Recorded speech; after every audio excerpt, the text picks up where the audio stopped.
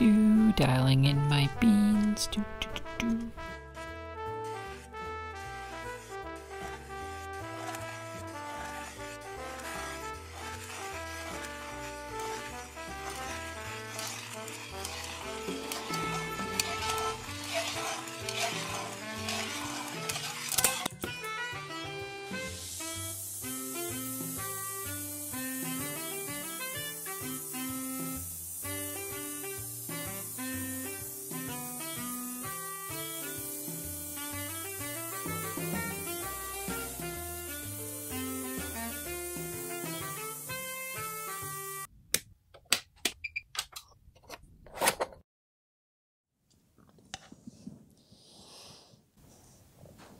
Hello, Internet. My name is Quinn, and this is my breakfast. And this is Blondihacks. Today I'm going to talk about trepanning, which is a very cool operation on the lathe. It's great for saving material and for making certain kinds of parts in a really efficient way. I think you'll like it. Let's go. In an alternate universe, trepanning might be called face parting or face grooving. It's when you want to cut a groove circumferentially on the face of a spinning part. Now, it also happens to be the name of a pre-scientific medical procedure, so I don't recommend Googling that word because you need to see those pictures like you need a hole in your head. So obviously you could use trepanning if you needed like an O-ring groove on the face of a surface, but it has some cool side benefits. A big one is that it saves you material. If you need to cut, let's say, a big circular part out of a large chunk of material like this, you might think, well, I need to center drill and drill and then bore this all the way out, and you're gonna reduce all of that material in the middle to chips. And if that material is expensive, well, you're wasting money, and if even if it isn't, you're wasting time. The other cool use case here is that if you've got a piece of square stock and you need it to be round, trepanning is often a quicker and more efficient way to make it round rather than just turning down the OD. So even if you're not worried about saving stock, you know, it might actually still be a more efficient way to get your operation done. It's also good for opening canned goods, but you're going to want to stick to your thicker soups and your bean-based products, and you want to be quick on that dismount with the chuck. What does the tool geometry look like for this then? Well, a good place to start would be a parting or a grooving tool, right? Because this looks very much like a groove that could be made with a tool geometry like that. So what happens if we do that? Here's a basic grooving or parting tool, and it looks mostly okay, all the normal clearances. But if we get in close, look what's happening on the outer radius of the circle can see here that the curve of the cut is coming in and interfering with the bottom edge of the tool there. So we have a clearance issue there. But the good news is the fix is intuitively obvious. Just swap that tool out for one ground like this, where the angle on the outer radius of the circle is a little steeper, and you can see that now it clears. And this is really all there is to basic trepanning tool geometry. But you can also see from these drawings that there's an interesting trade-off in trepanning geometry that you don't see in other operations the smaller the radius you're cutting, the more clearance you need under the tool, and thus the less support you have under the cutting edge. So you tend to end up grinding multiple trepanning tools for different ranges of radii. You don't want to just use one ground for really tight radii because it's going to have poor support under the cutting edge, but then a tool ground for large radii isn't going to work on small radii. There's some more advanced things we can do here, which I'll cover at the end of this video, but let's start with this basic form. I always find it helpful to draw what I'm going to grind, so I'll blue this guy up after cleaning it with some acetone. And then I'm going to mark my basic parting profile here. It's about 100 thou wide and 3 eighths thick. And then uh, mark it on the other side where it really should go. It's uh, helpful to have the parting blade side of it on the inside of where the tool post will be because it gives you more clearance around the tool post. And then to get rid of the bulk of the material, I'm going to bust out the angle grinder. That'll save us a whole lot of grinding time and it, uh, well, it's also fun. As I go here, I'm using water to keep the tool a bit cool, but I don't know how necessary that is. It's fun though. And high-speed Yahtzee. With that basic shape roughed in, I can dress my grinding wheel, my least favorite part of tool bit grinding, and I can grind it down to my lines. So I'm starting with the end here. If you want to know more about what I'm doing here, I'll refer you to my video on grinding tool bits. This is really just leveraging my 10 degree table as usual to clean up those sides.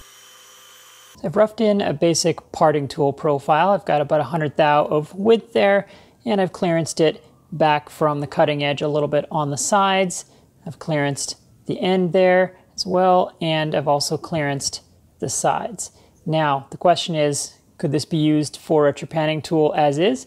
the answer is maybe. It depends on how much clearance you have on the sides and whether it's sufficient for the radius that you're trying to trepan.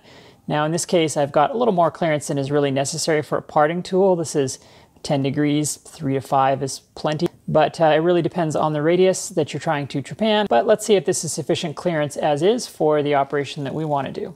And then we'll have to put some top break in there depending on the material that we're cutting, or you can just put a little chip breaker in the end for a parting or grooving tool. That's often all you need. And before doing any actual cutting, I'll clean up those grinding marks and burrs with a little stone hone, as is tradition. After that little stone bath, this is looking pretty decent. You can see how it's so far just a basic parting tool. Now let's go see if this might work. For this test, I'm going to use this chunk of 2024 aluminum that was donated by a viewer, and this is neat stuff. Unlike the traditional 6061 that you're going to most commonly encounter, the stuff has a 7000 psi higher yield strength than that regular aluminum, and uh, it's actually an alloy with uh, copper, and I think there's some manganese in there, and it's much less susceptible to fatiguing from like work hardening, and so it's commonly used in aircraft fuselages and wings. So it's pretty cool stuff. It's quite a bit stronger than regular aluminum, and uh, well, because of that, it's three times the price, which makes it an excellent candidate for trepanning. If we can keep some of this out of the chip tray, we should do so. I started by facing off the end, as is tradition,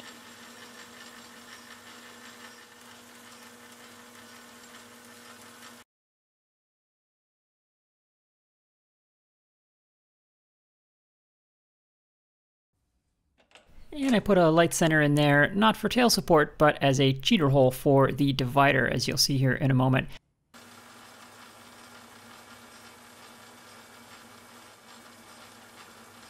I'm going to blue this up so that you can better see what I'm doing, and also because it's super fun to blue things up on a spinning lathe.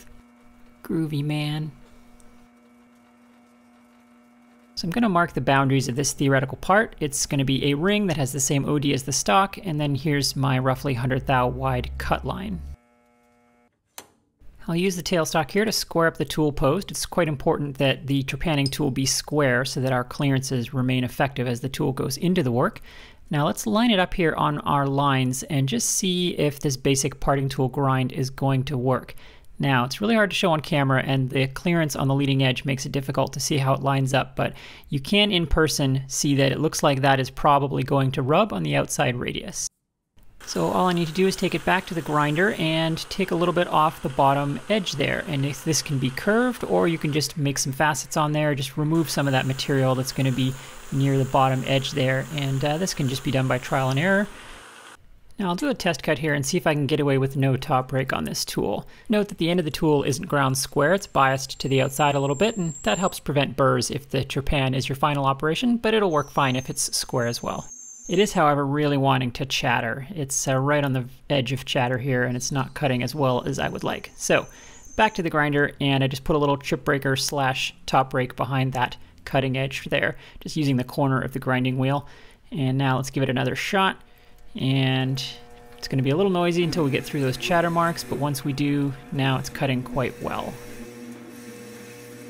Now for feeds and speeds, you want to go pretty modest. So this is 80 RPM and this is a 4 inch diameter part. I'm a little further from the chuck than I would like to be, so chatter is still uh, threatening to enter the room here, but I'm managing to keep the door closed with a very gentle feed and uh, lots of cutting fluid and a good sharp tool there with an aggressive rake on it for this aluminum. Now keep in mind this is a form tool just like any other parting or grooving tool. So you've got a wide cutting edge there doing a lot of work so tool pressure is high and in this case you know this is a 100 thou wide tool which is a lot for this little baby lathe. So you're going to need to take it easy. So you can see here how far in I went, just far enough to get the part that I want, this hypothetical ring that's I'm sure very important for something. And now we can go ahead and part it off in the usual way. I should note here on my parting tool that I'm really feeling this 2024 aluminum. It's parting quite a bit tougher than usual 6061 does on this little lathe, and I'm also working pretty far from the chuck here. I'm about four inches away from the chuck, which is, again, asking a lot from this little hobby machine. But we are getting it done if we keep the speeds and feeds nice and low. And Yahtzee. And there's our little ring, and you can see that the vast, vast majority of the stock is still untouched and ready to be used for other parts. So this ring could be a bushing or a bearing backer or a ring gear blank or any number of things. So what is this ring for? Uh, I guess this? Let's see if it flies. Yep, that's what it was for. So that's the very basics of trepanning. Now there are some more advanced tool geometries you can use here to get more sophisticated and efficient results, especially with multiple parts. So I'm going to direct you to a great video by Tom Lipton over at Ox Tools.